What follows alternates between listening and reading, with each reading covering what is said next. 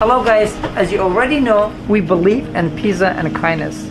There are over 1 million homeless people in the US now. But with our attention and action, they are able to fill their stomach. Let's prove that pizza beats hunger.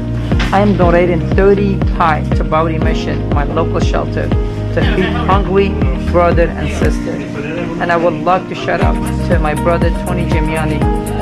I want them to donate their fantastic pizza to their local shelter or hungry people in the street and pass this challenge to the next one or two pizza makers.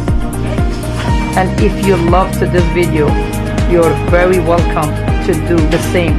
Please share the video of you sharing this food. Spread love. It doesn't have to be pizza. Just any food is good.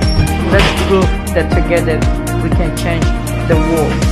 God bless all of us. Stay safe, everyone.